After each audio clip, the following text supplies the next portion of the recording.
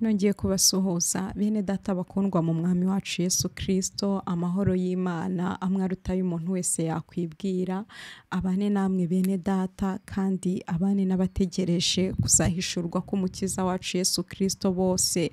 Nejejwe n'imana rero ko yongeye kunshira inzira kugira ngo tubane. Muri aka kanya ntekereza ko kataza kuba kanini cyane ariko ah, ninginga umwami imana kugira ngo ni ukuri aduhe ugutwi kw'abigishijwe tujye twumva nk'abigishwa ba kirisito aho kugira ngo twumve nk'abigishwa ba kanaka aho kugira ngo twumve nk'abigishwa ba buranamu nk'abigishwa ba erenji wayiti nk'abigishwa ba casitesi ruso oya ahubwo twumve nk'abigishwa ba kirisito haleluya umwanditsi yaravuze ngo umwami imana inzibuye ugutwi ngo umwami imana inzibuye ugutwi sinaba ikigande ngo mpindukire nsubire inyuma. Ayo ni amagambo umuntu w'imana Yesaya yanditse mu gice cya mirongo itanu umurongo wa gatanu ngo umwami imana inzibuye ugutwi ngo sinaba ikigande ngo mpindukire nsubire inyuma. Bene data buriya dufite ikibazo cy'abantu bashaka kumva cyane bakanumva byinshi ariko batabanje gusenga kugira ngo umwami imana bazibure ugutwi. Ubwe abazibura ugutwi hari verisiyo nasomyemo iryo jambo y'igifaransa ivuga ngo umwami imana ngo si umwami imana kereze monoreye ngo iramutse inshukuye ugutwi ikakuzibura neza ikakwagura.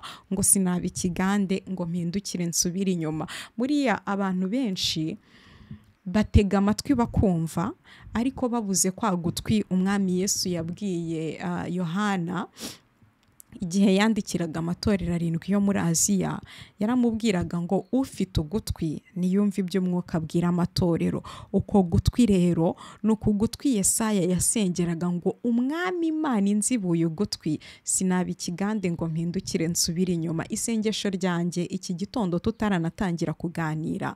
Ni ukugira ngo we tugiye kubana mu izina rya yesu kirisito umwami imana ikuzibura ugutwi mu buryo butuma utaba ikigande. Umwami imana ikuzibura ugutwi mu buryo butuma ugira ugutwi kumva ijwi ry'umwungeri kandi kuzi gutandukanya ijwi ry'umwungeri n'andi majwi yose. Kuko yesu yaravuze ngo intama zanjye zizi ijwi ryanjye ngo iyo nzihamagaye ziza aho ndi. Ariko kandi izo ntama ngo ntago zijya zitiranya ijwi rya yesu n'amajwi y'abandi bungeri. Iyo abandi bungeri bavuze bahita bumva iryo jwi ritandukanye n'iry'umwungeri wabo bakabahungira kure ntago bajya bitaba. Umwami imana inzibuye ugutwi sinaba ikigande ngo mpindukire nsubire inyuma. Abantu benshi bashubijwe inyuma n'uko umwami imana itazibuye ugutwi kwabo. Ariko se uyu munsi wagira icyifuzo ukabwira umwami iti data wanzibuye ugutwi mu buryo butuma numva ijwi ry'umwungeri? Mbese wanzibura ugutwi mu buryo butuma mfite kwa gutwi kumva iby'umwuka abwira amatorero? Muri ibi bihe bya nyuma.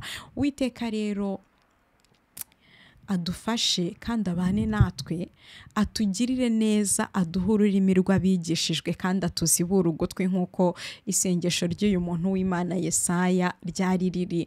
Nejejwe rero n'imana y'uko inciriye inzira kugira ngo ngaruke n'ubundi dukomeze muri ya seri y'ibiganiro seri y'ibiganiro turi gukora ku- kuri dogitirine z'umugabo witwa william mario branamo umugabo wo muri iki kinyejana tuvuyemo cya makumyabiri ndetse umugabo uyu munsi hakiriho abantu babanye nawe bamuzi bakoranye nawe.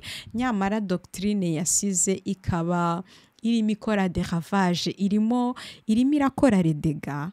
Nahoze ndeba imyizerere itandukanye yagiye yuririra kuri ibyo bintu bya william mario branam ndumirwa cyane ndumirwa. Murebe ibya tabernakle yitwa baruti tabernacle yo muri congo. Le tabernacle de baruti. Uwo ni umu apotre witwa baruti kasongo aherutse no gutabaruka mu minsi ishize. Uwo nguwo ah, niba ari umu apotre niba ari umupasiteri nawe yakoreye minisiteri ye munsi y'amavuta ya william mario branam agera ahantu ariko arazamuka pe.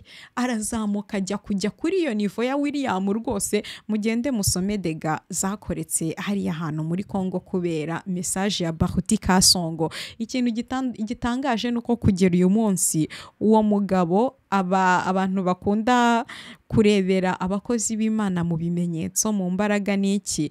N'uyu munsi baracyamuvuga nk'umukozi w'imana umuntu reka twe kubitindaho. Murebe ibyakozwe n'umugabo witwa Jim Jones. Pastor Jim Jones watwaye abantu neza arabicara bamara kubera iki? Ibi bintu ngira ngo ahari umuntu atinda yikomvenka ko hari icyo ari cyo gisumba ibyo abandi bantu bose bari byo noneho ariko akananirwa gushyikira cya kintu bikamufurisitira kugera ahantu agera n'aho rwose ba bantu yabisasira da. Narebye amasekite menshi yavukiye muri izo nyigisho kandi jisitoma kuko bavukiye ku muntu wakabakabye titire ziri muri bibiliya nabo bumva nta cyatuma baziyima. Munyemerere rero dukomeze tuganire ku bintu by'uyu mugabo.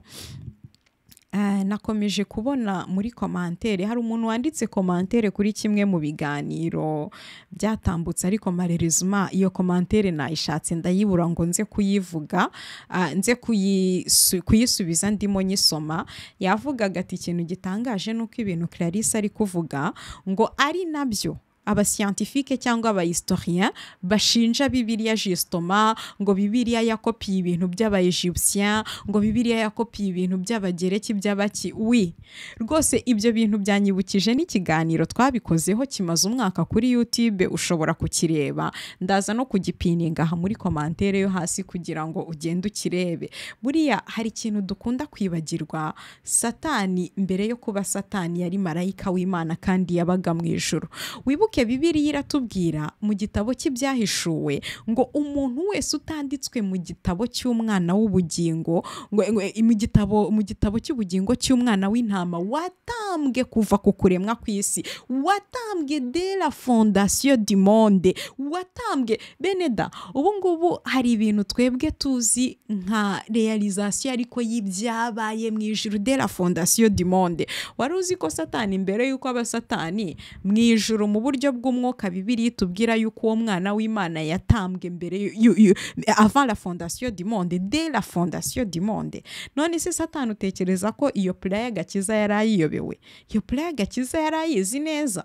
Muri edeni muri edeni igihe haba icyaha imana yabwiye satani iby'urubyaro ruzaza ngo rukamumena agahanga ngo nawe akarukomeretsa agatsinsino misiyo ya satani kuva icyo gihe kwari ukuhiga urwo rubyaro no kuruburabuza no gutuma rutaza ariko ntiyari buzabishobore. Niyo mpamvu mbere y'uko urwo rubyaro ruza yatangiye gukora de contrefaçon. Nyine abazanira ba horasi abashinwa abahundi muri civilisation zose uzagenda usangamo abantu bitwa yuko ngo bavutse ku bakobwa b'isugi. Kandi ibyo bintu byose bikaba byaragiye bibana mbere y'uko yesu kirisita avuka. Sete de contrefaçon. Ayo makuru y'uko hari umwana w'umuhungu uzavuka ku mukobwa w'isugi akaza akamumena agahanga yari ayafite. Rero satani ni metero wa konfiziyo ati reka mbanze mbacange rero. Mbanze mbacange abanyegiputa mbahe umwana wavutse ku mukobwa w'isugi aba mbaho uwavutse ku mukobwa w'isugi abanza abacanganyukishe noneho rwa rubyaro niruza abantu ntibazarumenye. Aho rero bipfira. Ni uko icyo urubyaro rwazanye muri ba bandi ya makonterefaso yose nta wari warakizanye. Nta n'umwe wazanye izina abantu babasha gukirizwamo. Nta n'umwe wazanye izina tuvuga abadayimoni bagahunga. Oya nta n'umwe wazanye izina tubasha kuberamo abana b'imana. Hareruya bene data ayo makonterefaso yaraje ariko se aba yarimo. Abafite horasi bafite iki?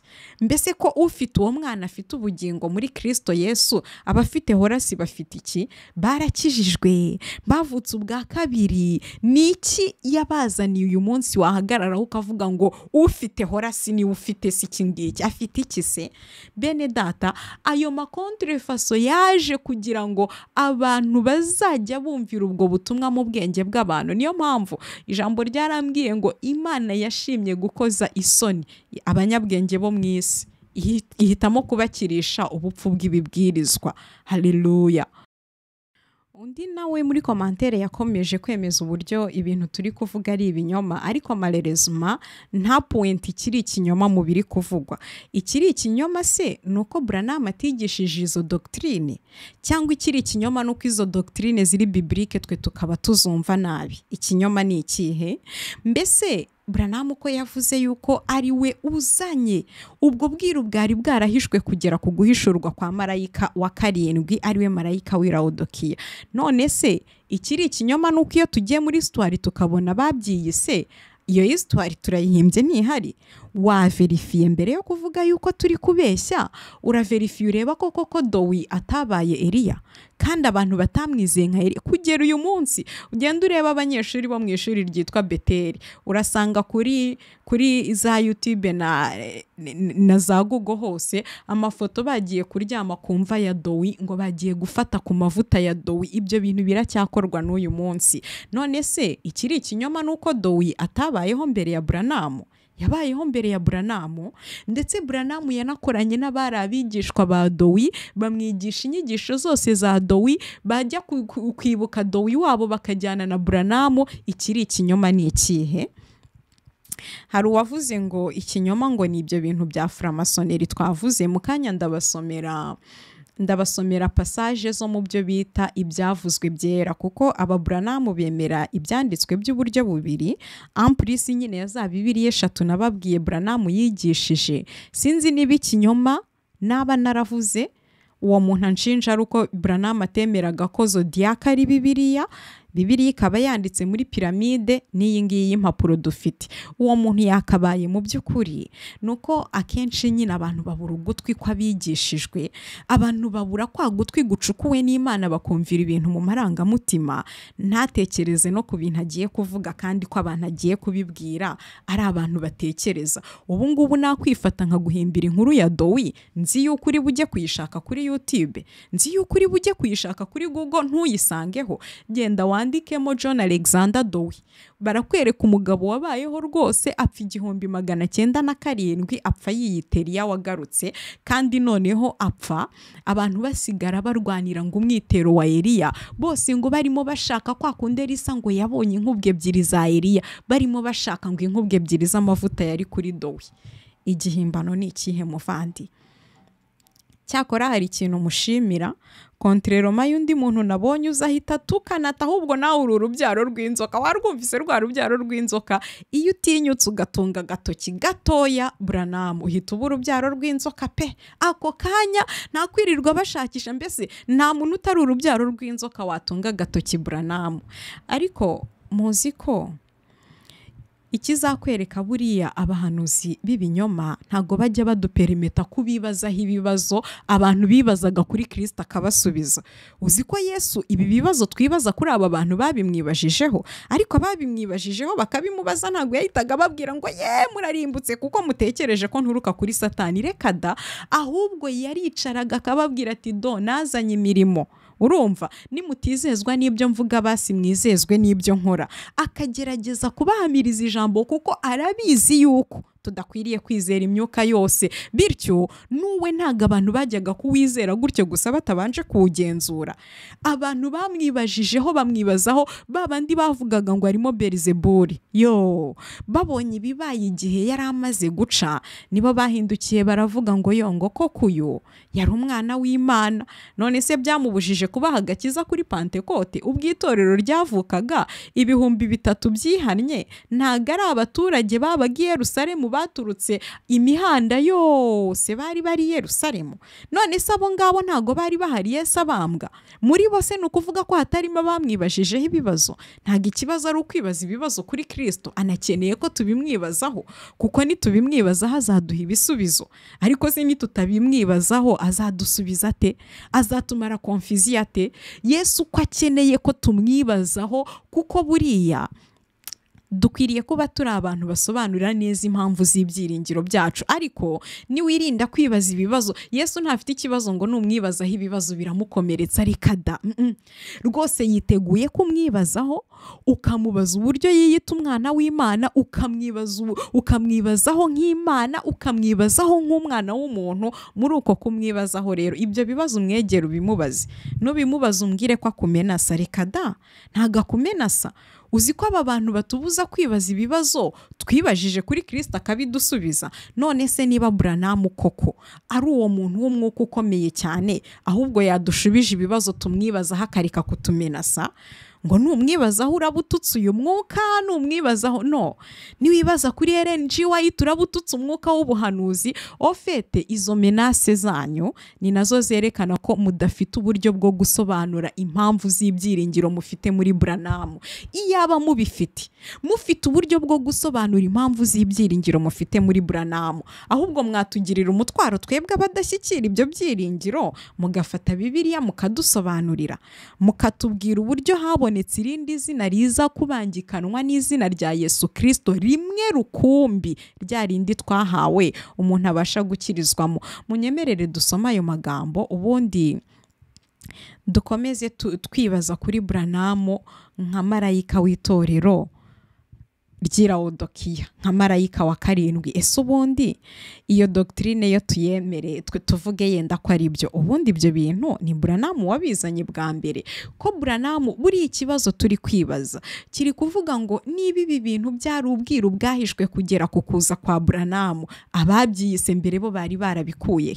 None se uraburana n'umuyehova gute? Nawe afite marayika w'itorero ry'irawudokiya mu idini rye? None se uraburana n'abandi bababanje gute? Nabo bafite uwo bizera nka marayika w'itora. None se ni ibihe bimenyetso? Ni iki kintu kiri budutandukanyirize? Twebwe abatizera Charles teze uruso ntitwizere william mariyo buranamu wowe uwo kwa mariyo buranamu uraduha buhamya ki? Tutasanga yenda kwa Charles teze uruso tutasanga ku bandi bantu bose bakoze biyita biyita ba marayika b'itorero ry'irawudokiya uraduha gihamya ki? Cyatuma koko twemeza ko uyu muntu ari we marayika w'itorero ry'irawudokiya mwibuke izi nzandiko zirindwi zandikirwa itorero yesu yatangiye abwira umuntu w'imana yohana aramubwira ngo wandikire marayika wandikire abamarayika barindwi b'amatorero arindwi yo muri aziya. Aya matorero arindwi yari ahari muri aziya. Aya matorero arindwi site hafi zayo hafi ya zose ziri hano muri turikiya ugiye bakwereka aho buri torero ryahoze ni babyita gute? N'amatongo y'iryo torero. Kuko ni ahantu turisitike abantu barahasura. Wibuke ko aho hantu hari hahari. Igihe yesu yavugaga ayo magambo aho hantu hari hahari mu buryo fizike ayo matorero yari ahari si amatorero yajyaga kuza.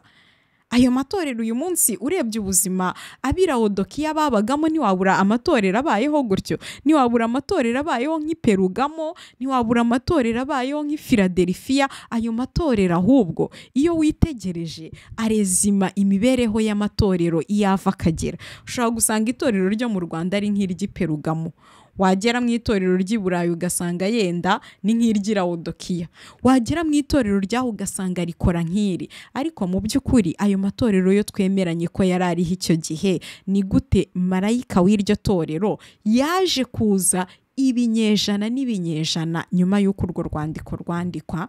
Hanyuma rero icyo tuza kuba twibaza niba ari na byo koko? Mariyo buranamu kubwo bwira ari we wari uje kubuhishura? Mbese koko nta bandi bari barabuhishuye bakanabwiyitirira mbere ye? Aya niyo magambo tugiye kuganira maze wa muvandimwe ukunda kuza kuvuga yuko tubeshya amfashe nibura asubiza icyo kintu. Bishoboka bite ko umuntu aza guhishura ubwiru ariko akahasanga abandi bantu babuzi kandi ubwo bwiru bwarabikiwe igihe cye kugira ngo aze kubusobanura. Dusome rero aya magambo nifuzaga ko dusangira. Ari mu gitabo cy'ibyakozwe n'intumwa igice cya kane ndahera ku murongo wa cumi na rimwe n'uwa cumi na kabiri haravuga ngo yesu ni we buye ryahinyuwe namwe abubatsi kandi ryahindutse irikomeza imfuruka. Kandi nta wundi agakiza kabonerwamo kuko ari nta rindi zina munsi y'ijuru ryahawe abantu. Dukwiriye gukirizwamo. Nta wundi agakiza kabonerwamo kuko ari nta rindi zina munsi y'ijuru ryahawe abantu dukwiriye gukirizwamo. Dore akaga gakomeye k'abantu bagiye bizera bene aba bahanuzi ni uko bafata izina ry'umuhanuzi wabo bakumva yuko abantu batumvise mesaje y'uwo muhanuzi nta buryo bwo gukizwa bafite. Nyamara nta rindi zina ryahawe abantu munsi y'ijoro umuntu ashobora gukirizwamo uretse irya kirisito yesu. Ntabwo ari irya buranamu ntabwo ari irya casitezi ruso ntabwo ari irya ntabwo ari irya joseph smith ntabwo ari iry'umuntu uwo ari we wese. Birashoboka gukizwa muri iki gihe utarigeze wumva izina william mario buranamu mu buzima bwawe. Ugahambwa ukazazuka mu muzuko wa mbere. Rwose igihe abantu bazateranirizwa kuri kirisito yesu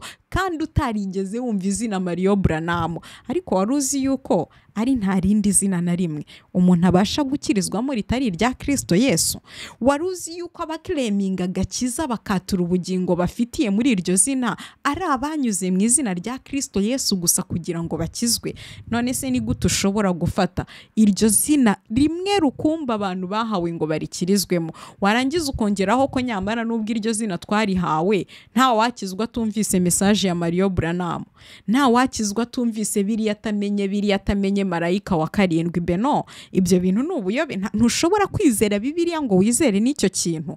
Ijambo ryo riratubwira ngo nta rindi zina munsi y'ijuru ryahawe abantu babasha gukirizwamo uretse irya yesu kirisito ubwo rero irya Mario buranamu waryizera utaryizera umenye yuko ryo nta gakiza rizakuzanira. Oya?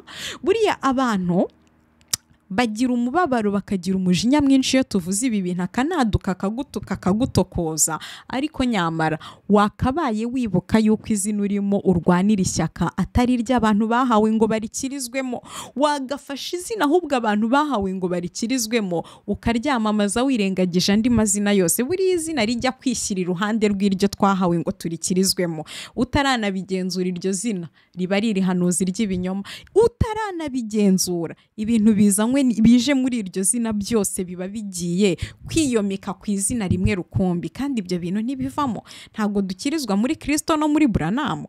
Ntabwo dukirizwa muri kirisito no mu mwuka w'ubuhanuzi bano. Dukirizwa muri kirisito yesu gusa. Ntabwo dukirizwa muri kirisito no mu munara w'umurinzi. Iryo zina rya yesu rirahagije riruzuye kandi nta wundi muntu yadusezeranije uzatuzanira agakiza nyuma ye. Ake karahagije. Ako yatuzaniye n'umwimerere karahagije. Iryo zina umuntu abasha kurikirizwamo akazasohora mu ijoro amahoro. Haleluya. Uzi ko yesu yanatuburiye muri matayo makumyabiri na kane usomye umurongo wa makumyabiri na kane?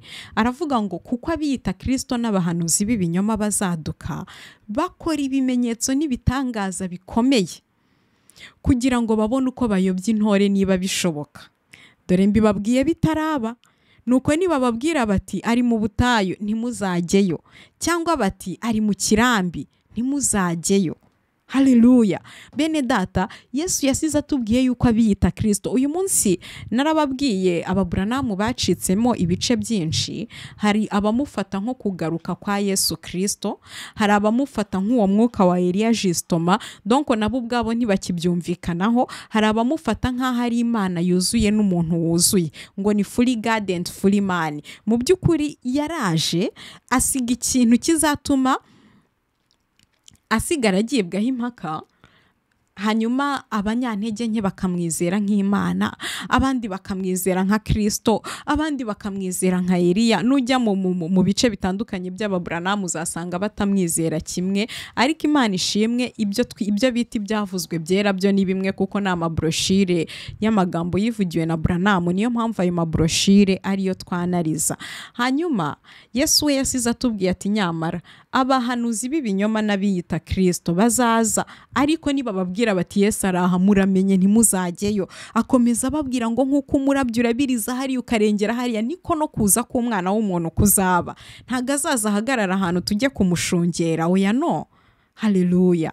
Bene data imana ikize bene wacu kandi tugarurire bene wacu mu izina rimwe umuntu abasha gukirizwamo ari ryo zina rya kirisito yesu. Uyu munsi rero munyemerere tugaruke kuri aya magambo nk'uko ubushize nababwiye ndi kwifashisha cyane letaravo z'umugabo witwa john collins kubera yuko uyu mugabo ni umuri saca noneho ndaza kubapiningira ndaza kubapiningira website y'ahantu wajya ukareba buri research ya buri kintu. Ikintu namukundiye ibintu bye byose biri dokimante muri icyo muri ayo magambo yitwa ibyavuzwe byera buri kintu cyose avuze ashyiraho detaye z'ibyavuzwe byera ababuranamu bizera. Inyandiko ziri muri izo broshire ku buryo n'izo broshire zose ziriho kuri website iyo ushatse yose urayiteresharija ikindi kintu natekereje nabonye umupasiteri w'umukongole ah, yatradwije ibyo byavuzwe byera mu gifaransa ku bwa tabernakle ye ah, urusengero rwe yarutradwirije ibyavuzwe byera abikura mu cyongereza abishyira mu gifaransa. Ariko natangajwe n'ukuntu ahari nahise ntekereza ko ari na cyo kibazo broshire zo mu kinyarwanda zishobora kuba zifite ntabwo izo ndi gusoma nabashije kuzibona mu kinyarwanda ngo mbicekinge ndebe ko ariko byagenze. Uwo mugabo yafashwe yafashe ibyo byavuzwe byera noneho ha hantu hose handitse temple masonique. Havuga uburyo basengeraga mu- mu- muri temple framaso cyangwa aho abashrinazi bateraniraga. Hose ahahindura ngo saint aho kugira ngo avuge ati twari turi muri temple y'abamaso akavuga ngo icyo gihe ngo abo bavandimwe bari badutije ahantu habo hera. Ku buryo wowe nubisoma ugasoma ahantu habo hera utari buhite wumva ko ari muri temple masonique. Imana rero ishimwe turacyafite broshire zo mu cyongereza kandi nta wari ukeneye kuzitranslatinga. Mario branham ibyo yavuze yabivuze mu cyongereza bityo mu cyongereza turacyafite broshire ziri originali ibi rero natekereje ko dushobora kuba turi no kurenganya abizera b'ababuranamu b'abanyarwanda yenda basomye broshire mu kinyarwanda. Ugasanga mu mbabarire ni, ni, ni supposition ntabwo ndi kubihamya kuko izo broshire nashatse kubiverifiya mu kinyarwanda ndazibura. Uza ahantu najya guteresharija broshire z'aba z'ababuranamu mu kinyarwanda yahandangira. Izo mfite ubu nzifite zimwe mu gifaransa izindi mu cyongereza. Noneho mu kinyarwanda natekereje ntahari ibintu uyu mupasiteri w'umufrancofone yakoze w'umukongole kuko mu zindi verisiyo mu, mu, ba- ba- batranslatinze ibisanzwe we gusa yashakaga gukuramo izo trace za framasoneri z'uburyo basengeye muri temple y'abaframaso z'uburyo abaframaso bishyuye amafagitire abamaso bagize batya bagize kuriya. Aho hose hari temple masonique akagenda hagira reliesa hanyuma aho yavuze abaframaso akahashyira les frères. Aho kuvuga ko ari abaframaso akandika ngo les frères bene data. Ibaze n'abo bantu aba atinyutse kwita bene data. Rero sinzi niba no mu kinyarwanda ariko baba barabigenje muri tradiction niyo mpamvu uyu munsi rero tugiye kwifashisha broshire z'icyongereza. Ndagenda mbarangira amabroshire amazina y'ibibwirizwa buranamu yabaga ari kuvugaho. Hanyuma nanazitranslatinge mu kinyarwanda ndababwira amazina ya broshire n'amaparagrafu ababishaka bajye kuyasoma. Mushobora kuyasanga jisitoma kuri iyo abashaka guteresharija amabroshire ya buranamu mu cyongereza mushobora kuyasanga kuri iyo site ndi bubahe ndi bupininga aho hasi. Munyemere rero tubanze tuvuge kuri iki kintu cya marayika wa karindwi nifashishije izo travo za, john collins turebe mu by'ukuri. William mario branham ubundi ni we wahishuye iki kintu cya marayika wa karindwi.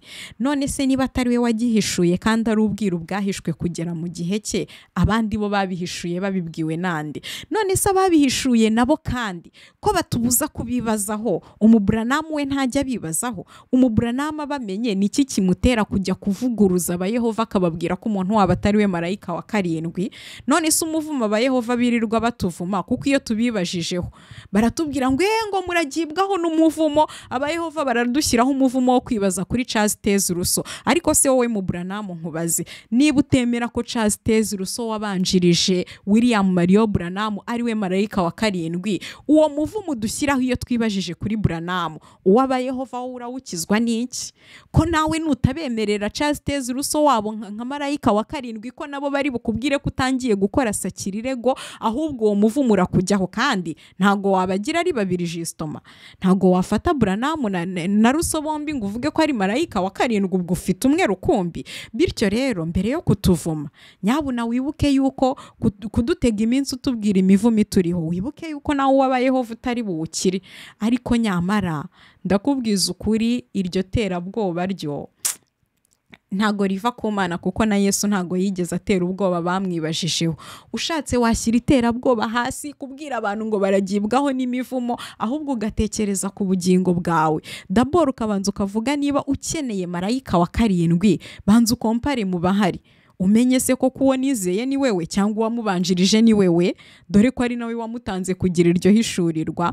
Ya tuze kugendana rero ukurikirana ayo mashusho ureba amateka ari inyuma y'ibyo bya marayika wa karindwi hanyuma nidusoza ni bwo nza kugarura. Noneho cya kibazo cyavuzwe ku bintu by'abafuramaso yuko ari ukubeshyera buranamo ndabereka mu maburoshire ye aho yigarukira ku bafuramaso nagerageje kwegeranya ibyo maze kugeraho ubu ngubu kuko hari igihe nyine izo izo pasaje zose kuzibonera rimwe biragora.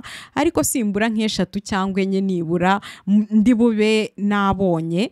Zerekana uburyo buranamu we ubwe yivugira kuri abo bafuramaso nk'abantu be abantu yakoranye nabo abantu yasengeye muri tampure yabo abantu yabanye nabo bamugiriye umumaro mwinshi. Kandi adafitanye ikibazo nabo ku bw'ubufuramaso bwabo ibyo ni ho turi bukurotirire videwo yacu imana iduhana umugisha. Mu byahishuwe igice cya mbere umurongo waho wa cumi n'uwa cumi na rimwe haravuga ngo ku munsi w'umwami wacu nari ndi mu mwuka inyuma yanjye numva ijwi rirenga nk'iry'impanda rivuga riti icyo ubona ucyandike mu gitabo ucyoherereza amatorero arindwi ari muri efeso simuruna ni perugamo ni tuwatira ni sarudi ni ni yohana yagombaga kwandika ibyo yumvise byose akabyoherereza amatorero arindwi yari ari muri aziya. Uyu munsi ayo matorero uko ari arindwi ntakiriho ndetse n'aho yahoze uyu munsi hari amatongo. None se bishoboka bite ko william mario branham wo mu kinyejana cya makumyabiri yaba marayika w'itorero ry'irawodokiya ryabayeho mu kinyejana cya mbere? Kugira ngo twumve neza inkomoko y'ibyo bintu biradusaba gusubira mu kinyejana cya cumi na karindwi. Icyo gihe umupadiri w'umudage witwa bertare icyo gihe umupadiri w'umudage witwa bartelemi horzoseri wavutse makumyabiri n'enye z'ukwezi kwa munani. Igihumbi magana atandatu na cumi na gatatu apfa kuri makumyabiri z'ukwa gatanu igihumbi magana atandatu mirongo itanu n'umunani yakoze imirimo ikomeye cyane y'ubushakashatsi ku gitabo cya nyuma cya bibiliya cy'ibyahishuwe yasobanuye iki gitabo cy'ibyahishuwe agira ati inyenyeri zirindwi n'ibitereko birindwi by'amatabaza yohana yabonye ngo ni ibihe birindwi by'itorero byihariye kuri buri gihe kuva ku ivuka ryaryo kugera igihe rizashyingirirwa kirisito padiri bartelemi yavuze ko ibyo bihe bihura neza neza n'ibihe by'amatorero arindwi yo muri aziya n'iminsi irindwi y'irema n'ibihe birindwi byabanjirije yesu kirisito ndetse n'impano zirindwi za roho mutagatifu.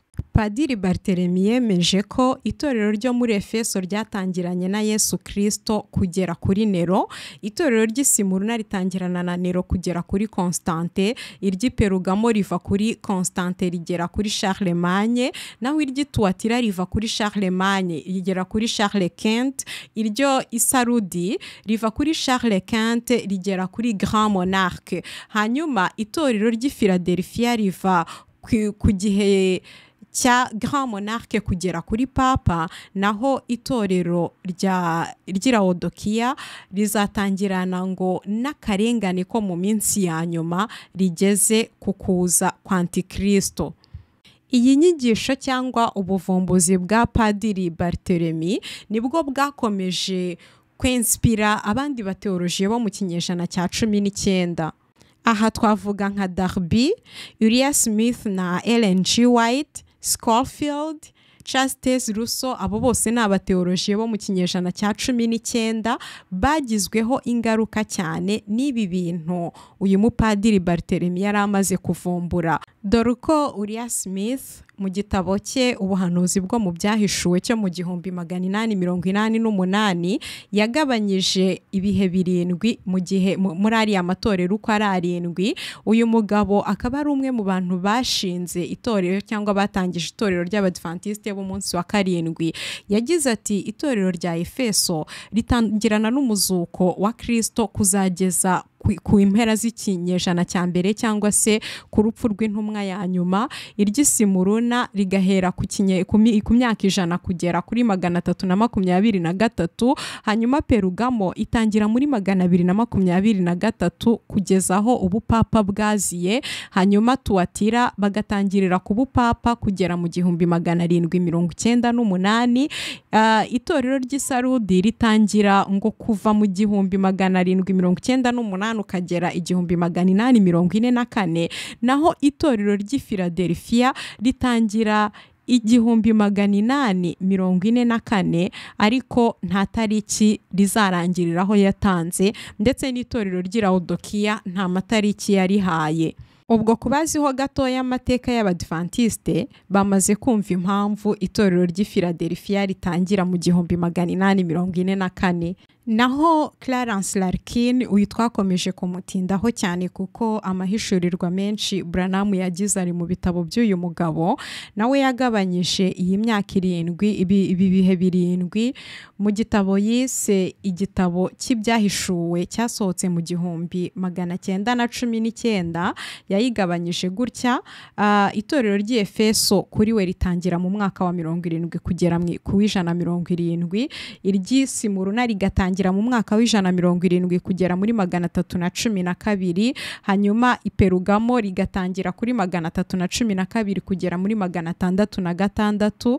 Itorero ry'ituwatirati ritangira muri magana atandatu na gatandatu kugera mu gihumbi magana atanu na makumyabiri naho iry'isarudi rigatangira mu gihumbi magana atanu na makumyabiri. Kugeza mu mwaka w'igihumbi magana arindwi na mirongo itanu itorero ry'i Philadelphia ngo ritangira kuva mu gihumbi magana arindwi mirongo itanu kugera mu gihumbi magana cyenda naho iry'i Laodikiya ritangirana n'umwaka w'igihumbi magana cyenda ariko ntago yatanze igihe rizasoreza. Uwitwa Chastes Russo rero we noneho aje yarabihuhuye kuko mu gihe abandi batangaga imyaka ayo matorero yatangiriye gusa we yongeyeho no gutanga abitwa abamarayika cyangwa abamesaje b'ayo matorero. Abantu yicaye aratekereza araforoma mu mutwe warangije arabatanga kandi nawe yishyiramo birumvikana. We rero dore uko yakurikiranyije iyo myaka avuga ko itorero ry'i Efeso ritangira muri mirongo itatu na gatatu kugera mu mwaka wa mirongo irindwi kuri rikaba rifite marayika waryo ari apotre paul intumwa pawulo hanyuma iry'isimuruna rigahera muri mirongo irindwi kugera muri magana atatu na cumi na gatatu marayika waryo akaba intumwa yohana ati kuva muri igihumbi magana eh, muri magana atatu na cumi na gatatu kugera mu igihumbi magana n'ijana na mirongo itanu na karindwi twari turi mu itorero ry'i Perugamo kandi marayika w'iryo torero akaba ari uwitwa ariyusi hanyuma ati itorero ry'ituwatira ritangira igihumbi n'ijana na mirongo itanu na karindwi kugera mu gihumbi magana atatu mirongo itandatu na karindwi marayika waryo akaba ari uwitwa warudo aba bantu bose ushobora kuza kubashaka kuri google ukareba. Letravo zabo na doctrine bigishaga. Hanyuma ati itorero ry'isarudi ritangira mu gihumbi magana atatu na mirongo itandatu na karindwi kugera mu gihumbi magana atanu na cumi na karindwi ngo kandi marayika waryo akaba ari Wycliffe. Hanyuma iry'i Philadelphia ritangira mu gihumbi magana atanu na cumi na karindwi ngo rikazagera mu gihumbi magana inani na mirongo irindwi na kane. Marayika waryo akaba ari Luteri uyu nguyu nyine washinze ubuprotesitanti hanyuma itorero ry'i Laodikiya rero ritangira ngo mu gihumbi magana inani mirongo irindwi na kane rikazagera mu gihumbi magana cyenda na cumi na kane ngo kandi marayika waryo akaba ari uyu mugabo uh, Chastes Russo. Abazi rero aho ku mateka gatoya y'abayehova bumvise impamvu yashyiriyeho itorero ry'i Laodikiya uh, igihe rizagarukira nuko uyu mugabo yagiye ahanura igihe imperuka izabera. Ku bw'ibyo iri torero ryagombaga kubaho kugera kuri ya mperuka yahanuye. Rero iyo mperuka itaje ubwo sinzi ukuntu yiyaranje arabigoronzora nyine abantu bakomeza kubyizera batyo. Ariko umwaka yari yabahaye itorero ry'irawudokiya rizavira mu isi ni umwaka w'igihumbi magana cyenda na cumi na kane. Ibigaragara ni uko buranamu yakuraga amahishurirwa ye mu magambo y'aba bateorojiye mu nyigisho z'aba bateorojiye bamubanjirije. Iyo usomye muri broshire za buranamu mu gitabo cyitwa cyangwa broshire yitwa ibyumweru mirongo irindwi bya daniyeli usome ku gika cya mirongo itanu na rimwe buranamu yavuze aya magambo agira ati mu by'ukuri bigaragara kuko ibihe byagiye bihita habayeho abantu benshi ibihumbi n'ibihumbi bagerageje gusobanura icyo ibyo byumweru mirongo irindwi byasobanuraga. Nasomye byinshi cyane ku byo banditse kuri iyo ngingo. Kandi ndashimira cyane bwana smith wo mu itorero ry'abadivantisite ku bw'igitekerezo cye. Ndashimira cyane dr. Larkin ku bw'igitekerezo cye cyangwa uko yabonaga ibintu. Ndashimira cyane abo bantu bose b'abahanga ku bw'ibyo banditse kuri iyo ngingo. Kandi gusoma ibitabo byabo bimpa umucyo cyane birampumura kuko nsangamo ibintu mbona ko ari ukuri. Mu by'ukuri hano buranama aratwemerera mbere y'uko atangira kuvuga ko ibi bintu abyerekwa ko yari yarasomye ibitabo byanditswe n'abateorojiye bamubanjirije kuri iyi ngingo. Reka rero noneho turebe uburyo buranamu w'ubwe aje yagabanyije muri iyo myaka hanyuma tuze kubigereranya n'inyigisho za clarence larkin n'iza chastes russo bikwereka ukuntu ibi bintu abantu babamo babyita ko ari ubwiru bwahishuwe na marayika wa karindwi. Mu by'ukuri ni ibikopororano bakopiye ku bateorojiye babanje. Mu gitabo expose de setage de l'eglise cyasohotse mu gihumbi magana cyenda mirongo itandatu na gatanu buranamu agabanya ibi bihe birindwa atya. Ati igihe cy'efeso cyatangiriye muri mirongo itanu na gatatu kugera ijana mirongo irindwi marayika w'iryo torero akaba yari pawulo. Naho igihe cy'isi ni ukuva mu mwaka w'ijana na mirongo irindwi kugera magana atatu na cumi na kabiri marayika w'iryo torero akaba ari irene. Igihe cy'iperugamo ni ukuva muri magana atatu na cumi na kabiri kugera magana atandatu na gatandatu marayika w'iryo torero akaba ari martin. Igihe cy'ituwatira cyangwa age de tiyatire itangira muri magana atandatu na gatandatu kugera igihumbi magana atanu na makumyabiri hanyuma marayika w'iryo torero akaba ari kolomba hanyuma igihe cy'isarudi ngo gitangira mu gihumbi magana atanu na makumyabiri kugera igihumbi magana arindwi mirongo itanu. Marayika w'iryo torero akaba ruteri igihe cy'ifiladelifiya ngo gitangira igihumbi magana arindwi mirongo itanu kugera mu gihumbi magana cyenda na gatandatu marayika w'iryo torero akaba john wesley. Igihe rero cy'itorero ry'irawudokiya ritangira mu gihumbi magana cyenda na gatandatu na cyo cyagombaga icyo gihe cy'iryo torero cyagombaga kugarukira mu gihumbi magana cyenda mirongo irindwi na karindwi turaza kuvuga impamvu marayika w'iryo torero akaba ari william mario buranamu impamvu iryo torero ryagombaga kugarukira mu gihumbi magana cyenda mirongo irindwi na karindwi ni uko mu nyigisho ze william mario buranamu nawe yemeza ko uwo mwaka utazarenga itorero cyangwa se kirisito ataragaruka. Uramutse rero ugereranyije ibi bihe nk'uko byanditswe na chastes russo na clarence larkin ndetse n'uko william mario buranamu yabivuze usanga chastes uh, william mario buranamu yarakoporoye hafi amatariki yose ya clarence larkin. Aho clarence larkin yagiye ashyira ko itorero runaka rizatangirira n'aho rizagarukira urebye muri ibyo bihe ni naho buranamu ayo matariki yarayakoporoye uretse ndetse itariki ya ageze mu bamesaje kuko Chastes rusa ari we wenyine wari warashyizeho iby'abamesaje cyangwa iby'abamarayika b'ayo matorero we aragenda noneho akoporora abamesaje babiri bo kwa Chastes ruso mu buryo butuma ari busigarane wa mwanya wa nyuma Chastes ruso yari ariho nawe akaba ari uba mesaje cyangwa marayika w'itorero rya karindwi uwo Chastes ruso ari we kuba yehova nawe noneho abe we ku bazamwizera gukoporora ibya Chastes ruso ntibinagarukira muri ubu buzima gusa. Kuko nureba n'imva. Imva ya Charles Russo ya piramide. Ngira ngo twayivuzeho imva ya Charles Russo n'iriya piramide y'abafaramasi iteretseho. Neza neza niyo kopi bakoze ku mva ya Buranamu bayimutereka hejuru.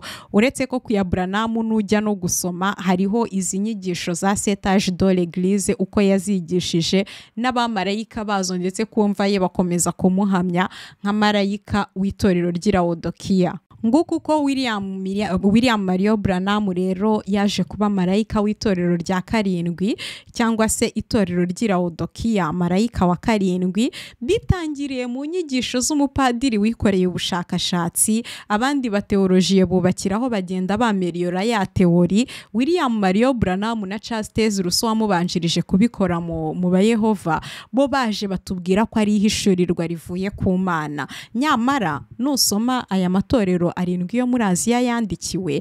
Ni amatorero yari ariho muri aziya minere muri aziya ntoya. Aya matorero yari ahari n'ubu ngubu site zayo zirahari ushatse washaka aho ayo matorero yahoze. Ntabwo bibiri itubwira yuko ari lesetage de l'église itubwira amatorero arindwi yari ari muri aziya ntoya yagombaga kwandikirwa izo nzandiko.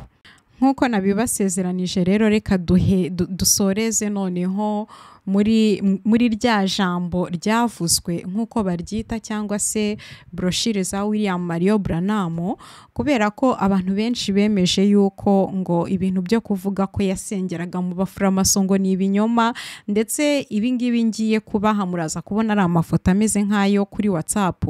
Ofete nuko nagiye njya muri izo broshire nkafata kopi narangiza nkakora kopi paste nkabipestinga kuri whatsapp ndimo mbyoherereza abarimo bamburanya kuri iyo ngingo ndamubwira nti ngaho nimushake namwe hano mumbwire ibihanditse kuko iyi ni broshire kamemu ni ibyavuzwe byera. Ni broshire ya William Mario Branham ni we noneho uri kutwihera amakuru y'ukuntu we yasemba icyo gihe basengeraga muri temple masonique munyemerere rero dusenge uh, dusoze tugaruka kuri aya magambo jisitoma ya william mario branham aho atubwira imikoranire ye n'abafuramaso mu by'ukuri ejo byantwaye umwanya munini cyane ndimo mbishaka mu mabroshire atandukanye kuko nyafite online. Rero ntago nza kubishyiraho byose. Hari ibyo mfite ari igipaje kirekire hari ibyo ntari bubashe gukatamo ibice ariko nkeya ndi bushyireho nibura ziraza kudufasha kubona ko ntago ibintu umuntu abihimba ngo abizane hano bene da. Nta nyungu tubifitemo ibi ngibi ni ugutera ijwi hejuru ngo nyabuneka niba uri muri ibi bintu ubitekerezeho ntawe ukubwiye ngo bivemo nibura ariko fata akanya ubitekerezeho. Wibaza uti ako se koko bibaye ari ibinyoma? Ese ubundi koko hatabayeho izina rya william mario branham abantu ntibakizwa ngo bikunde? Ese iryo zina koko ryarahanuwe mu byanditswe nka marayika wa karindwi? Utwo tubazo twibazeho winginga imana nk'uko twatangiye dusoma muri yesaya winginga imana ikuzibura ugutwi wumve mu buryo bw'abigishijwe mu buryo butuma utaba ikigande. Ngo uhindukirire andi mazina nyamara hari izina rimwe twahawe umuntu abasha gukirizwamo. Turahera rero kuri iyi broshire ni mu nyigisho yise icyumweru ibyumweru mirongo irindwi bya daniyeli aha yari ari kuvuga ku cyumweru cya mirongo irindwi turaza gusoma kuva kuri paragarafe ya mirongo inani n'icyenda tugere ku y'ijana mirongo ine na rimwe ni mesaje ijya kuba ndende nayikasemo kabiri. Kuri iyi paragarafe ya mirongo inani n'icyenda aravuga ngo nawe mu gihumbi magana cyenda mirongo itatu na gatatu when we were worshiping over here in the masonic temple where the church of christ stands today. Ngo ubu mu gihumbi magana cyenda mirongo itatu na gatatu ubwo twarimo duhimbariza imana cyangwa se twari duteraniye hariya muri tampure y'abafuramaso aho itorero rya kirisito riri uyu munsi. Icyo gihe bahasengera hari muri masonic church cyangwa se masonic temple hanyuma ubu ngubu arimo arababwira ko hasigaye hari itorero rya kirisito ariko arapuresheje ati when we were worshiping over here in the masonic temple. Uwo ni william mario branham uri kubitubwira biri muri broshire ushobora gushaka ukabona. Ngo on one morning april uh, on one April morning, before leaving home, I was dedicating my car ibindi bikurikiye ndumva ntaho bihuriye n'iki kintu twarimo tuvuga nashaka kubereka we yari arimo atanga inkuru y'uburyo y'ibyabaye abona visiyo ariko avuga aho yagiriye iyo vision ngo barimo bawoshipinga over here in the Masonic temple muri temple y'abafuramaso. Uyu ni William Mario Branham no kuri sigewe ugende ushake dore kuri iyi message hejuru uraza kubonaho na titre ushake iyi brochure yitwa ibyumweru mirongo irindwi bya Daniel ujye kuri paragraph ya mirongo inani n'icyenda. Niba batraduje mu kinyarwanda barabaye abizerwa bagatraduiza ibintu nk'uko koko byanditse mu cyongereza. Uri busangemo Masonic temple. Cyangwa si byiza ujye kubisoma mu cyongereza kuko icyongereza nta translation yigeze ibamo. Nababwiye ko nza kubashyiriraho aho mwakura ayo mabroshire mu cyongereza ku batayafite. Biraza gusaba gusikororinga ushake aharire broshire za William Mario Branham ushakemo iyitwa ibyumweru mirongo irindwi bya Daniel usome uhereye kuri paragraph ya mirongo inani n'icyenda. Umva rero muri paragraph ikurikiyeho noneho ibyo atubwira. Muri paragraph ikomeza akomeza ndaza gutranslatinga gusa aho bikenewe. Ahangaha yari arimo avuga bwa buhanuzi nababwiye nyine bwo mu gihumbi magana cyenda mirongo itatu na gatatu bumwe yavuze ko yaje gushyira mu rusengero bubatse uh, ariko ahangaha arimo aratubwira aho yaherewe ubwo buhanuzi bumwe muri bwo kuko ntabwo bwose yabuherewe ngo umunsi umwe icyo gihe ngo bari bari muri temple y'abafuramaso.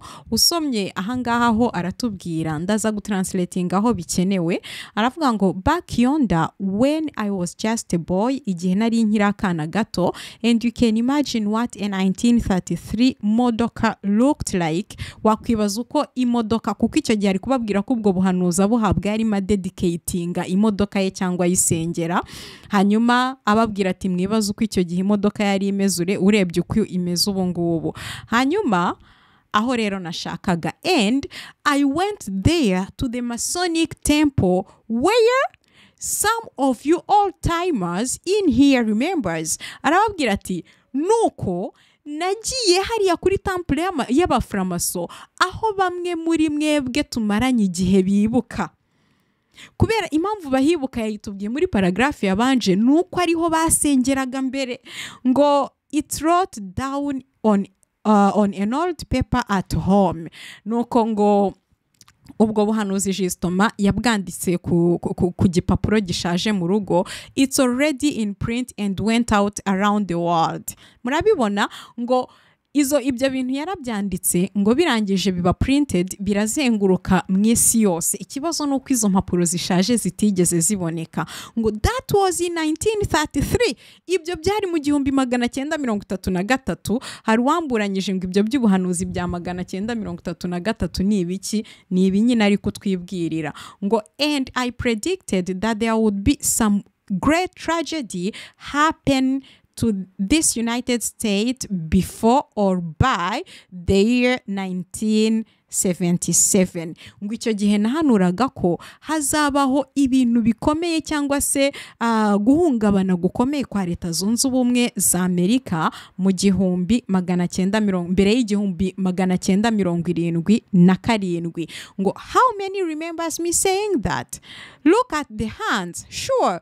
Ubwo agahita abaza ati ni bande hano babyibuka? Ngo nimurebe muzamure ibiganza. Ngo ni ukuri. Ariko aha nashakaga kukwereka uburyo william Branham ubwe atwihamiriza ko ubwo buhanuzi bwo mu gihumbi magana cyenda mirongo itatu na gatatu yahanuye avuga ibizaba muri amerika mbere y'umwaka w'igihumbi magana cyenda mirongo irindwi na karindwi yabuhanuye bari muri Masonic temple aho abo bamaranye igihe ari kubibutsa ko bahibuka. Ngaho rero utubwira ngo ibintu turi kuvuga turabeshya nibura ubanze ushake iyi broshire nkweretse ujye kuri paragarafu ya mirongo inani n'icyenda umanuke ugere ku ijana mirongo ine na rimwe umbwire ko utabona ko basengeraga muri Masonic temple. Barahateraniraga ariko aha hantu icyatumaga bahasengera nababwiye ko William Mario Branham yatangiranye n'umugabo witwa Roy E. Davis uyu mugabo akaba yari umukekeke. Aba ushobora kureba abakekeke uko bameze cyangwa ibyo bizera niba wavuga ko ari ibyo bizera. Iyi ikaba ari branch ikomeye ya framasoneri ariko yubatse cyane kuri rasizme. Hanyuma uyu mugabo yaje kwimika william mario branham nk'umuminisita w'ubutumwa bwiza bajya bamufunga kuko yahoraga afungwa. Yahoraga afungwa abo bakekeke bakabafata bajya bamufunga william mario branham agasigarana itorero rye. Hanyuma noneho baje no kumwimika ba umuwizadi mukuru cyangwa se uhagarariye abo ba- ba- bakekeke. Bamaze kumwimika noneho itorero branham yararisigaranye kompletoma asa n'umusigariyeho. Nyuma rero kubera abaturage babaga bafite umujinya w'ibintu abakekeke bakora baragiye batwika itorero rya roy e. Davis. Iryo torero rimaze gushya ni bwo Branham yahise atangira noneho ibintu bye arabimura abashatse kumukurikira babatiza temple masonique niyo bateraniragamo. Numbwira rero ngo ndabeshya nibura verify nibura verifiya umbwire ko Branham we ubwe abihakana ko atateraniye muri Masonic Temple yayiteraniyemo ariko bayimutije. Hanyuma rero broshire ikurikira ngira ngo dusome. Ni broshire yitwa Jesus on the authority of the word cyangwa se Yesu ku butware bw'ijambo. Icyo Yesu avuga ku butware bw'ijambo Ah, turasoma iyi paragraph ivuga ngo I have nothing against lodges. Ngo nta kintu mpfa n'amaroge roge nyine ni ni ah'abafuramaso loge masonique donc ihuriro ry'abafuramaso riba ari loge aho basengera ni mu maloge masonique gutyo aho bateranira cyangwa aho bahurira niba banabyita gusenga atangira rero atubwira ngo I have nothing against lodges. Ngo ntacyo mpfa nta kintu amaloge antwaye ntacyo mpfa n'amaloges ngo but masonry odd fellows or any of them would be just as well if it's ceremony. Ngo ariko ubufuramaso cyangwa se aba ba iyi fraternite ngo n'ibindi bisa na byo byaba byiza nka seremoni gusa niba ari imigenzo gusa. Arakomeza ati it has its good and bad. Aravuga ngo framasoneri cyangwa masonry ifite ibyiza byayo n'ibibi byayo. Just like the church. Wumva wumva ibintu arimo agereranya. Ngo masonry ifite ibyiza byabyo n'ibibi byayo ngo kimwe n'itorero the church. Iyo tuvuga the church tuba turi kuvuga umugeni wa kirisito ngo nk'uko itorero naryo rifite ibibi byaryo n'ibyiza byaryo ni uko nguko na masonry ayifata. Masonry fraternité isenga le grand architecte de l'univers qui n'est personne d'autre atari satani. Mu by'ukuri? Iyi iyi masoneri abantu bayibamo nko muri za grade za mbere. Nagiye numva ubuhamya bw'abafuramaso muri nko kuri 32e dogere bagiye bakizwa. Arakubwira ati ariko iyo bakiri bashya bagitangira iyo tuvuga yesu bagira ngo ni yesu wo mu ijuru iyo tuvuze ibi ariko abakuru bo muri bo nibo bazi exactoma yesu baba bavuga uwo ari we. Iyo bavuga le grand architecte de l'univers uzashaka ubuhamya bw'abafuramaso bakijijwe bagatangira kumena amabanga y'ibyo bizeraga mu by'ukuri. Kuko izi ni sosiyete secrete ntago najya kuvuga ah, muri inisiyasiyo ariho ukigeramo mu kadogere ka mbere azahita akubwira ati nyamara le grand architecte de l'univers ndi kuvuga n'uyu nguyu. Ariko biratangaje ukuntu umuntu w'umupasiteri w'umushumba afata framasoneri akayigereranya n'itorero. Aravuga ngo i have nothing against lodges but masonry odd fellows or any of them would be just as well if it's ceremony. Byaba byiza bibaye ari imihango gusa. It has its good and its bad just like the church. Ngo ifite ibyiza byayo n'ibibi byayo cyo kimwe n'itorero. But Christianity is a living being in mankind. Ubukristo ni ikizima mu muntu cyangwa se ni ikintu kizima mu muntu. That's a proof of the resurrection of this, the, the God son who was God with us. Akomeza avuga ngo icyo ni ikimenyetso cy'umuzuko w'umwana w'imana wari n'imana mu bantu. Ikibazo cy'aba bantu bamikisinga ukuri n'ibinyoma ukazabura uburyo mbese mesaje zabo biba bisaba gufata inkoko ukajya ugosora. Atangira agereranya mesonry ayigereranya n'itorero. Bi- ibibi bya mesonry abigereranya n'ibibi byo mu itorero ibibi by- ibyiza by'itorero abigereranya n'ibyiza bya mesonry ariko asoza avuga uburyo ubukristo ari ikintu kizima. Rero ah, William Mario Branham yavuze ku bufuramaso cyane keretse niba urwanya ahubwo inzandiko ze keretse niba wowe uhagurukiye kurwanya ukuri yaba yaravuze mu byo yita mu byo mwita ibyavuzwe byera. Naho niba ubyemera jya gusoma mu nzandiko ze mu cyongereza urabisangamo birimo biruzuye. Munyemerere dusome indi broshire ndi kugira ngo twihute nari navuze ko bitaba birebire none bibaye birebire. Aho avuga kuri mesonry muri iyi ngiyi atubwiye ko nta kintu apfa n'amaroje rwose nta kibazo afitanye n'abafuramaso. William mario branham nta kibazo afitanye n'abafuramaso. Muri broshire souls that are in prison now cyangwa se imyuka iri muri gereza ubu ngubu yo mu gihumbi magana cyenda mirongo itandatu na gatatu ku itariki icumi z'ukwa cumi na kumwe yabwirije ari kubwiriza yavuze aya magambo ngo the Ku-Klux Klan ngo aba Ku-Klux Klan pay the hospital bill for me. Masons. Ngo aba Ku-Klux Klan banyishyuriye fagitire y'ibitaro. Ngo kandi ni abafuramaso i can never forget them. Sinshobora kubibagirwa. Urabibona? No matter what they do ibyo bakora byose or what ibindi byose i still there is something and that stays in me. See? What they did for me? Ngo ibyo bakora byose hari ikintu. Ngo kandi icyo kintu kigumana nanjye. Ngo kubw'ibyo bankoreye ngo murabona ibyo bankoreye. Mbese ahangaha barimo ashimira aba Ku-Klux Klan anemeza nawe ubwe ko ari abafuramaso.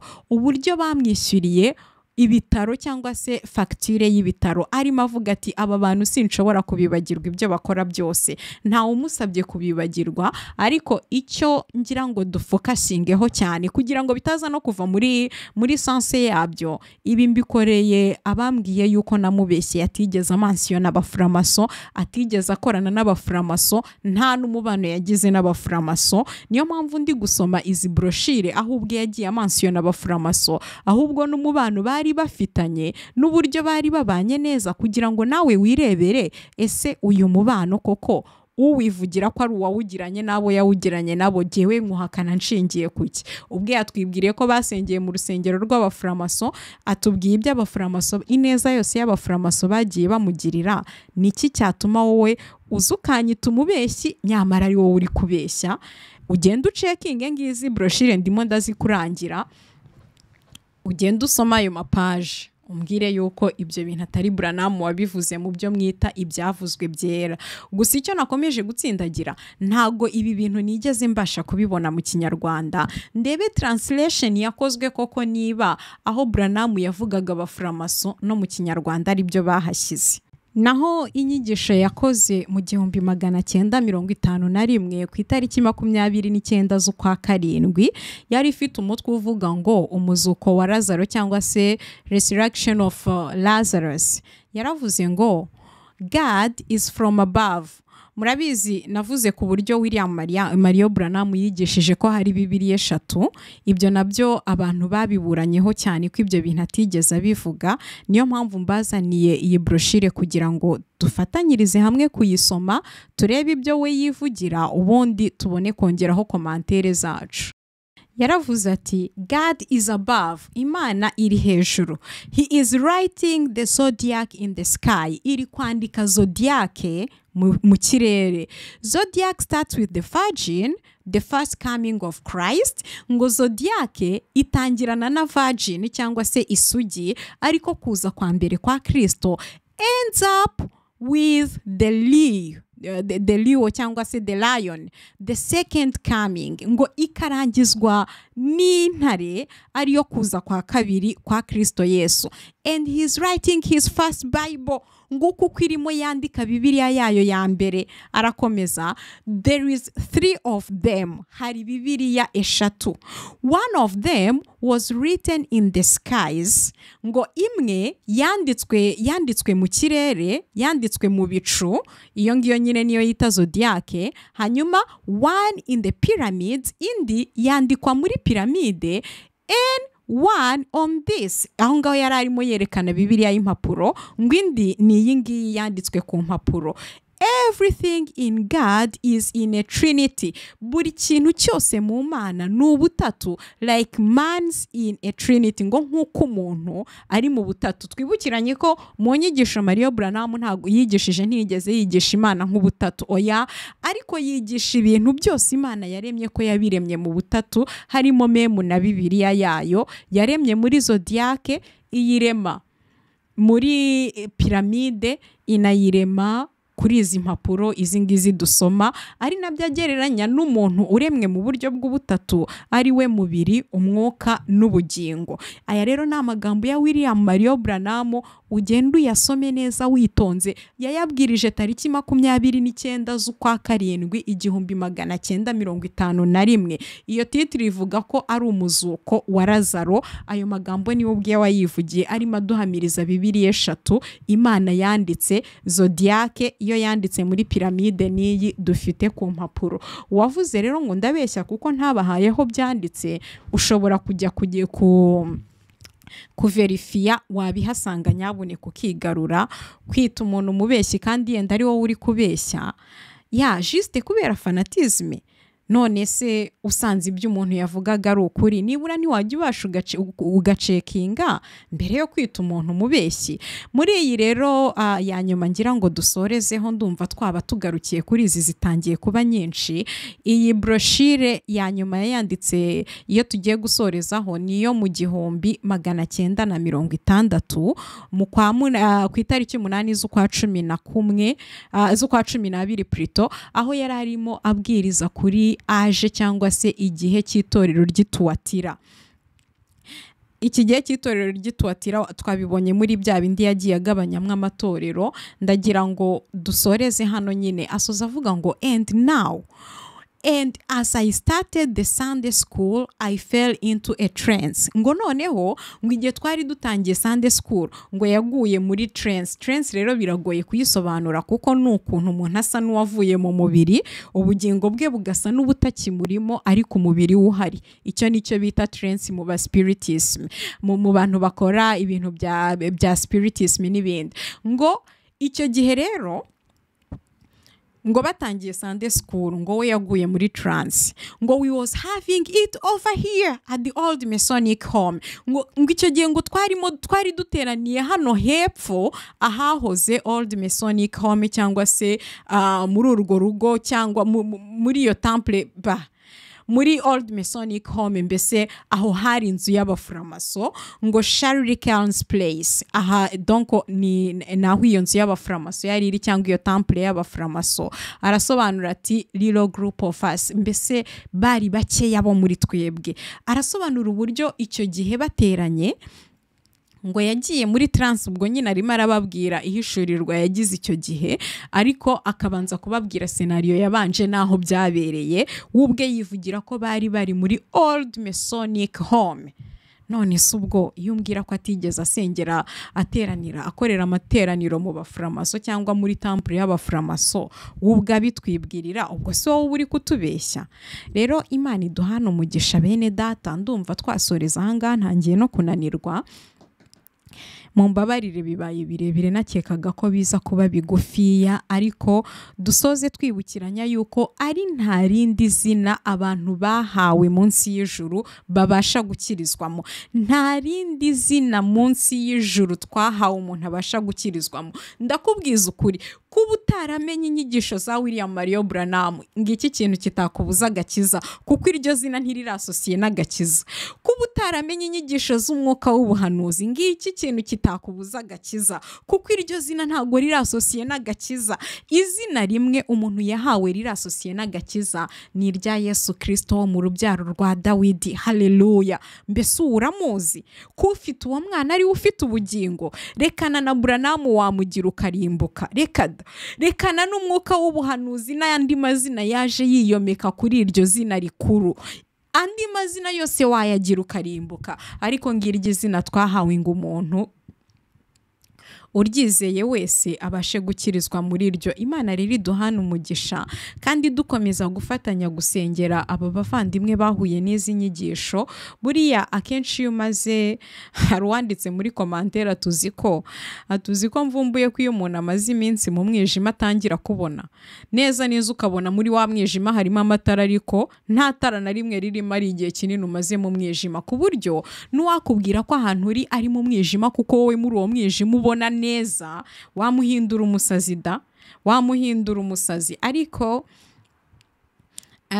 niyo mpamvu nahisemo ko dukoresha ibintu bya fagiti dufate de fagiti ibintu biri verifiyabule umwana w'ubugingo uri muri ibi ashobora kugenda we ubwo akiverifiyira ariko umufanatike burya ntacyo wamufasha. Niho uzabona umuntu akibona titire ahita ajya muri komantere agatukana akita abantu amazina buriya nta kundi. Umwuka uri mu bintu yizeye uba umwigaranzuyemo kandi ibyo wuzuye. Ibyo uwo mwuka utanga ni ibyo bitutse jisitoma nta kindi yakubonera. None isa kubwira ijambo ry'ubugingo? Uwo mwuka nta jambo ry'ubugingo uzana. Reka da umwuka wa kirisito utometseho irindi zina niwo wonyine uzana ubugingo naho iyo utangiye kuwomekaho umwuka wa buranamo sha ntabwo uwa kirisito wawubangikanya n'umwuka w'undi muntu ngo nawe akwemerere. Ntabwo byemera it's christ and christ alone. Ni yesu kandi yesu wenyine. Ni kirisito kandi kirisito wenyine. Apana kirisito na buranamo apana kirisito na chastez ruso apana kirisito na smith apana kirisito n'undi muntu. Ni kirisito and christ alone.